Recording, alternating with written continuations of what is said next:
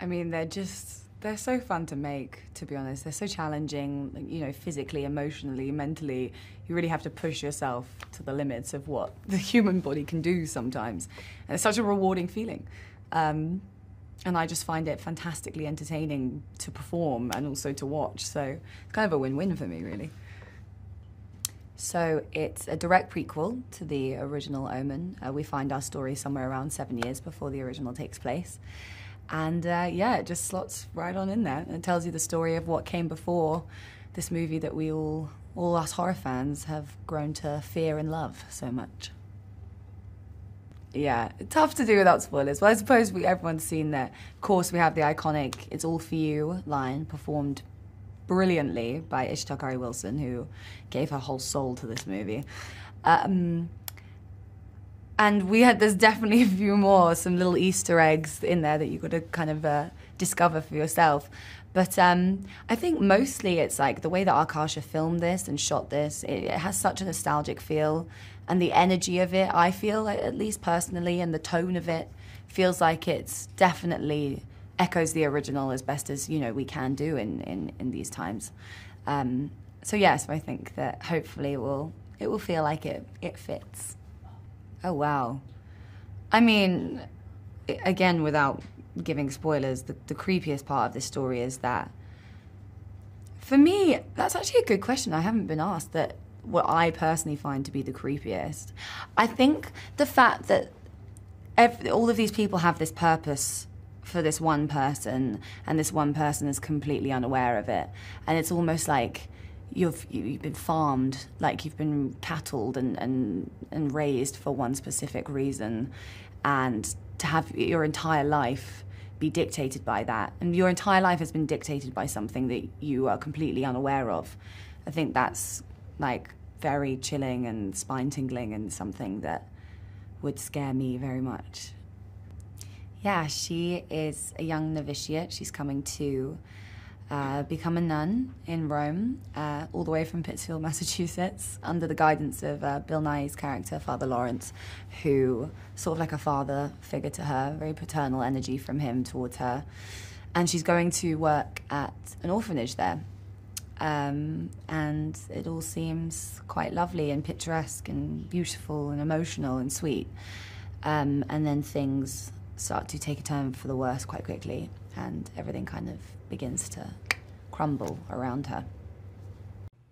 Yeah, well, what I really love about this film is that I think that while it answers these big questions, like that I had a, as an Omen fan growing up, like where does Damien come from, you also get to new get to know a whole new set of characters that weren't in the original franchise. So you really get to discover this whole new world and um, and I like to think that we had our own message and our own voice with the first Omen, but something that fits within the franchise and still like for fans, there's still going to be lots of fun Easter eggs, and we do dovetail into the 1976 version in a really fun way.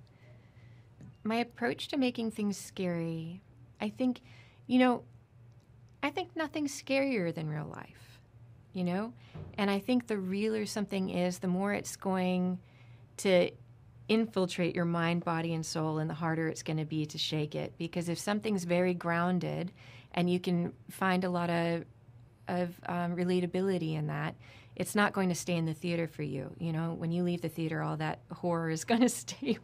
Man, that sounds horrible, but but that honestly is, I think, the best approach. And those are the movies that scare me the most, are the ones that are the most grounded. Yeah, sure. So I think, you know, there's a lot of characters that are beloved in the original, and it's really exciting to bring them back in the first Omen. And, you know, seeing Spiletto's face and seeing Gregory Peck's face again at the end of the film and Father Brennan is um, really fun. I was always curious as an Omen fan about who Father Brennan was and his character arc. And I think Ralph Ineson did such an amazing job um, with showing us that journey. And, um, you know, I was also really enthralled as a kid with the 666 mark. And so, what was really fun on this project was getting to explore the mythology of the 666 even more. So. Yeah, it's it's hard to pin them down. I feel like every movie I've ever seen in my whole life is somehow popping up on screen, you know, consciously or not consciously. But um, I mean, what we did look at a lot was um, the Alan Pakula Gordon Willis collaboration. So, like one thing that was a huge visual reference, but also a real character and pacing reference for us was Klute um, with uh, Jane Fonda. I think that film is so beautiful um, and also subverts your expectations of what you think a psychological thriller or horror film would be because it focuses so much on character. Yeah, Margaret's so interesting. And, you know, when I first got the script um, and I read it, I was really surprised to find out that the lead was going to be this young novitiate. Um, and it was really inspiring finding, you know, discovering this character more and more because she's, you know, she grew up in an orphanage her entire life. And then immediately after aging out of the orphanage, she goes on to become a novitiate. So it's, she's a fairly isolated um, character that's then dropped in the middle of Rome, which is like a very, a very beautiful and sensual city. And so for a girl who has maybe not thought about her body or or her sexuality, um, to be dropped into an atmosphere like that, I think is already very confronting and already such an interesting film, whether or not you have the supernatural element ahead of her.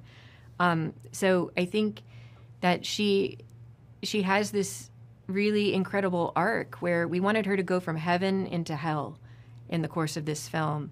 And you know the first time you see her she's rising up above into into this beautiful golden light. And then we end with her surrounded by flames in this dungeon. And i think that seeing somebody um, learn how to trust their intuition and fend for themselves was such an exciting thing to photograph and to, to see